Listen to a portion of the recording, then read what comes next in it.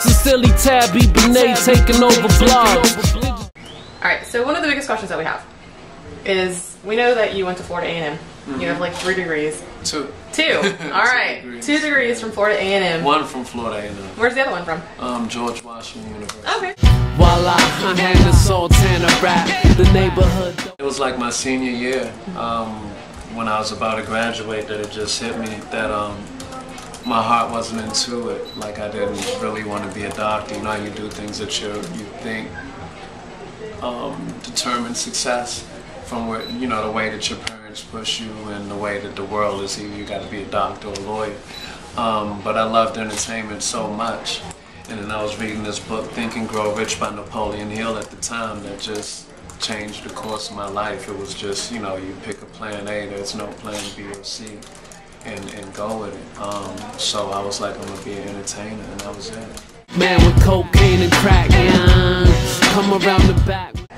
it, when I just when I started, because you know I was born in Togo, West Africa, um, and when we officially moved here, when I started hearing hip hop, it was just like I felt like I had to be involved, and somehow I was just, you know how you're such a fan that you just feel like, wow, you got to do more than just be a fan.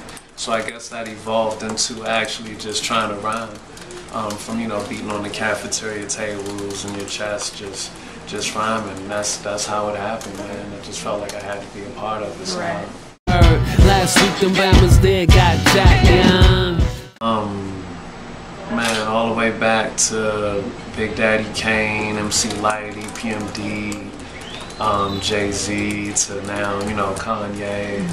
Um, definitely a Mos Def, Andre 3000, but just that that whole gamut really really got me. English criminals of all sorts with subliminal thoughts. It's your brain. Um, well, I'm, I'm messing with Dame Dash right now, so he's putting out my next album. Okay. Um, that'll be sometime this summer. Um, majority of the album is produced by Ski Beatz. You all know him from Yep. Jay Z's Reasonable Doubt, Camp Lo, Mary J. Blige, a lot of other people. So um, that's that's my next like project. That'll be midsummer. I don't have a name for it yet, Okay. but um, should be finished within the next month. Sounds good. Is it going to be like an LP or is it going to be a mixtape? Album, yeah, LP, Nice. yeah. was splat. You're no match for such an idiotic catch.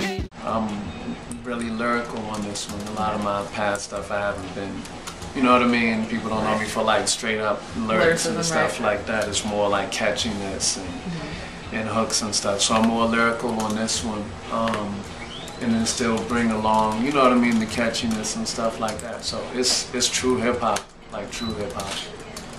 Professional with some primo stats.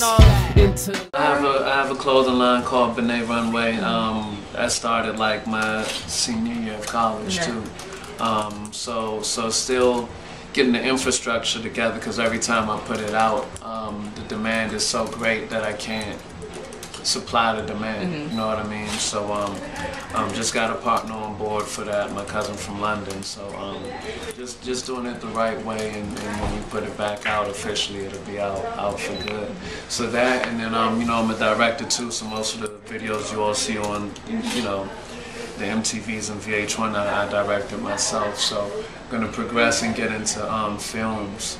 So I'm gonna shoot a couple of short films this year that'll hopefully make it to Sundance within the next year, and then um, you know progress from there, get it to indie film level, and then hopefully major motion picture level after a while.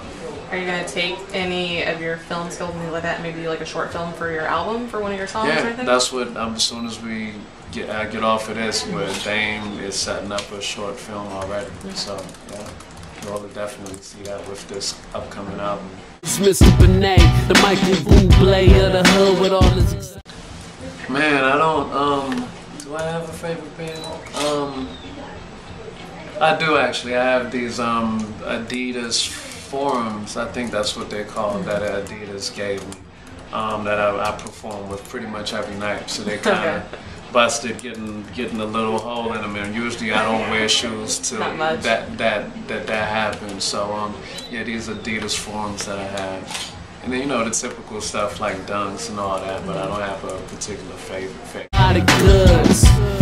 Lot of 24K brass knuckles. When I get involved with Paid Dues, uh, Murs, he's, you know, that's his, his thing. He's been a fan for a while, so he just reached out to me. Um, and, you know, we're just wrapping up the Road to Paid Dues tour, which we've been on since um, middle of February. And, um, you know, the, the big event is tomorrow, man. I'm excited to see, you know, Dead Prez, uh, Mos Def, Talib, you know what I mean? People like that, so, yeah. Sunset Boulevard, hanging out like I ain't no superstar. Good times with us is supercharged. Nothing ever less than oohs and ahs. Won't ever kick it with Lucifer. Just Jesus and some pretty broads. Everything you see here is ours. We might just bump in the barge. That's that type of life we live.